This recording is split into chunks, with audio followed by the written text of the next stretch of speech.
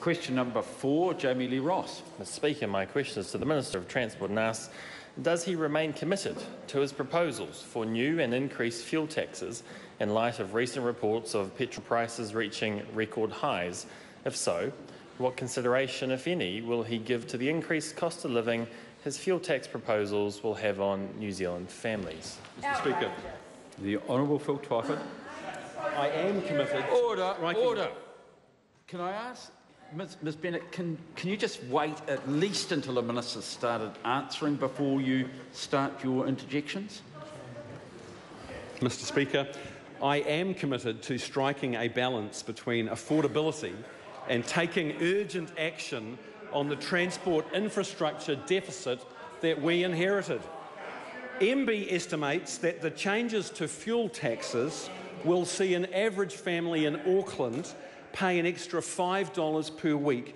By contrast, our government's families package will put $75 a week into the pockets of 384,000 low to middle income families.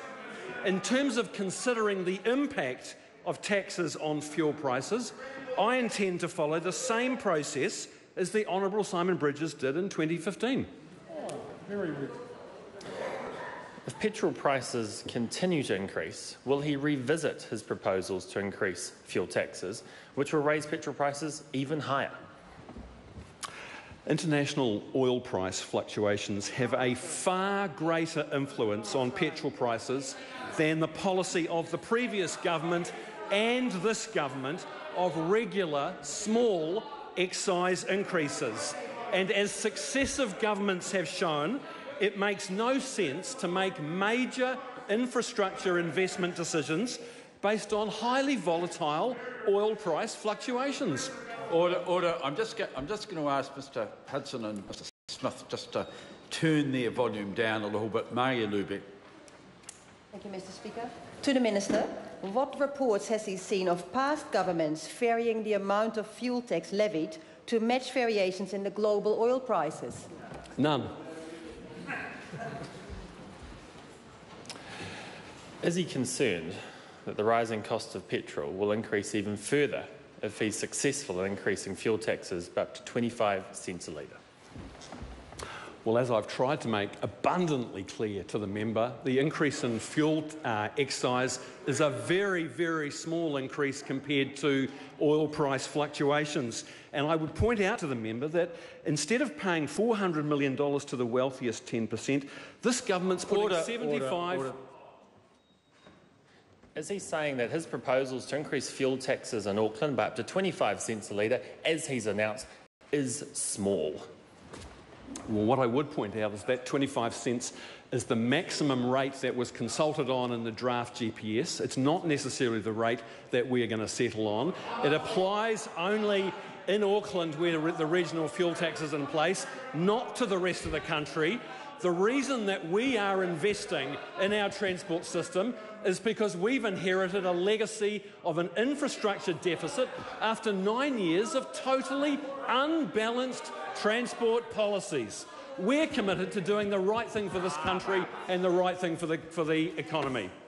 Marja Lubeck. Sorry, point of Point of order. order. Um, so, so the question earlier was ruled out because we were referring to 2017, yet the Minister seems to be able to have uh, make comment about the last nine years as he wishes to, and I'm just asking for some I, clarification. I have a feeling the member's trying to relitigate a ruling I made quite some time ago. I think I will ignore it. Marja Lubeck.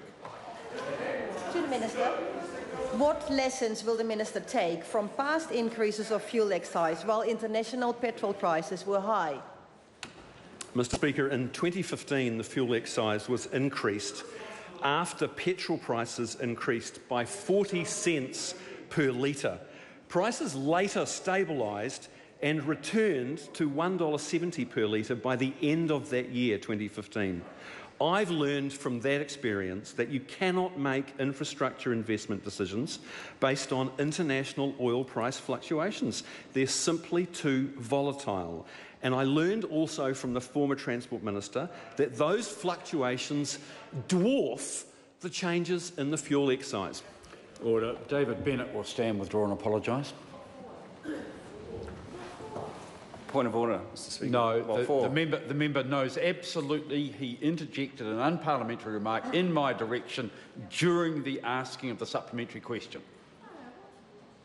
And what for? Wh- wh- Why do I withdraw and apologise? Sorry? Speaker? Why do I withdraw and apologise, Mr Speaker? Why? Yes. Because the member made an unparliamentary remark um, and, and it was exacerbated by the fact that it was done during the, um, uh, during the asking of a supplementary question. Point of order. What, what was the unparliamentary remark? I'm, I'm not going to repeat what the member said about me. So, uh, Withdraw and apologise. Mr Speaker, I, I, I need your Order, explanation. order. The member will withdraw and apologise now, or I will take more serious action than's happened in the House uh, for quite some time. Could you get, could you get me the?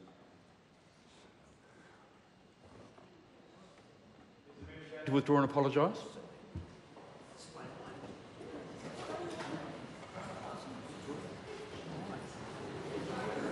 No, I'm not having a point of order. I'm waiting for Mr Bennett to decide whether he will comply with my instruction to withdraw and apologise for reflecting on the chair while a supplementary question was being asked.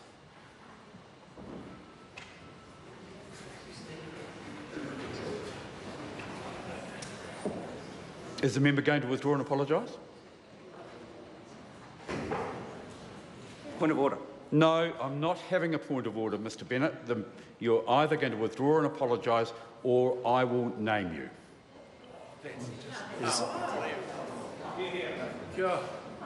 Order.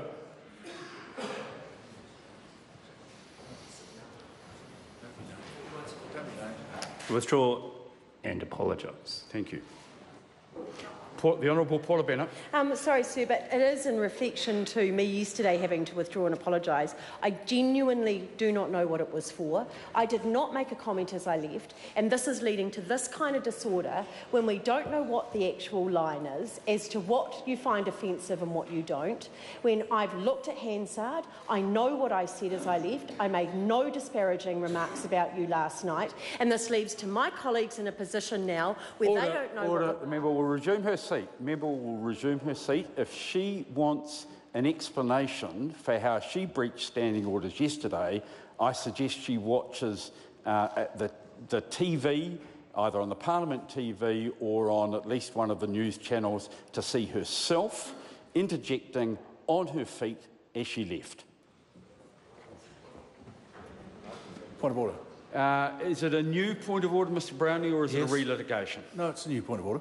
A new point of order, the Honourable Gerry Brownlee. Uh, Mr Speaker, people might like to look at the um, uh, TVNZ clip that's currently running of a member challenging the Speaker on frequent occasions and ultimately being required to leave the House and being quite messy all the way through. Uh, on none of those occasions was the member named. My question simply is, why do we go suddenly from a position where uh, the Speaker um, uh, does not want to uh, apparently leave, make people leave the House, does not explain what an offence might be, but then simply requires people to uh, accept the arbitrary decision of the chair or be named, which everyone knows is quite an extreme step for anyone in this House. It seems the step that they, they, we've gone from a very, very uh, simple, uh, straightforward position of how you deal with these things to one that is uh, quite draconian. And I think that is the problem we've got with the inconsistency of the way the chair is operating at the present time. Well, um, I note the member's comments, but as the member knows well, uh, naming is, um, I think, standing order 90 uh, is the punishment for being grossly disorderly and, and refusing to withdraw and apologise for quite an extended period of time is grossly disorderly. Uh, if, if it's the same matter, uh, Ms. Bennett, you're running a serious risk of losing a, a number of supplementary questions from your team from the first Tuesday back. So, to be clear, um, Mr. Speaker, what I wish to be is uh, actually not unruly in this House. So, I need clarification that it was yesterday when I said it's a waste of time that you took such offence to that I had to come back and with, well, when I came back, you insisted that I withdraw. that- that- that's, that's, exact, that's exactly right. Uh, and uh, if the member had not said that she was leaving the House, I would have required her to withdraw and apologise then. But seeing she was self-banishing her, herself, I thought that that was the best way of dealing with it uh, and we could get on with business. Um, I, I did reflect uh, to the member later on that on a previous occasion when I had done uh, exactly the same thing, uh, made a comment as I made a comment as I was uh, self-banishing. Uh, the speaker sent for me and made me come back and apologise, and then booted me out again. Uh, the member was treated pretty leniently. So, the, so Order, the point order. of order. No, no, the member will resume his seat. Her seat, sorry, Mr. Bennett. The, will withdraw and apologise again.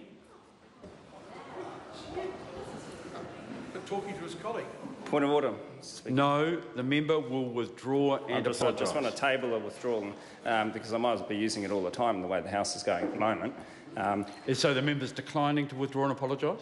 no, I'm just seeking your guidance No, as to you're why not I have seeking my guidance. You're going to withdraw and apologise. Uh, Mr. Speaker, what for? I just I need to know what I did wrong.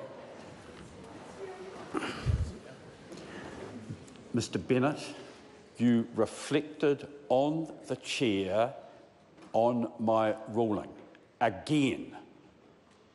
I mean, I, I just not. I mean, the member, the member understands what he does. He's not an unintelligent member. It's not something that happens accidentally, but the member should be able to remember sort of 30 seconds after he made a comment that he did. The member will withdraw and apologise.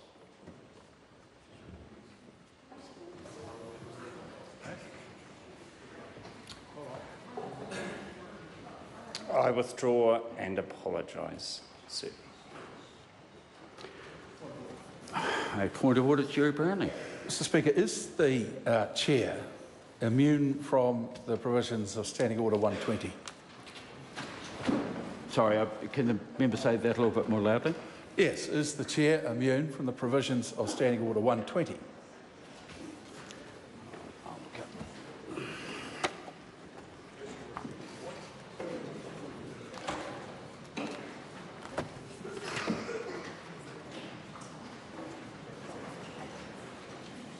No. Point of order. Then isn't uh, simply requiring members to withdraw and apologise without some explanation of the reason for that impugning uh, improper motives against a member? For goodness sake. Oh, look. Oh, Mr. Mr. Brownlee, this, is, this, has got, this has got to the point of, of being ridiculous. The member is a. The, Paula Bennett will leave the chamber.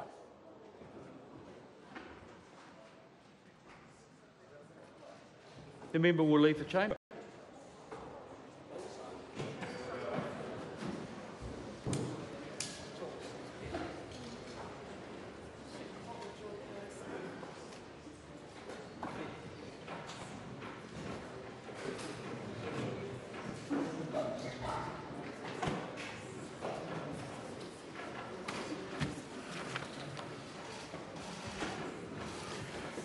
Now, I've lost where we're at.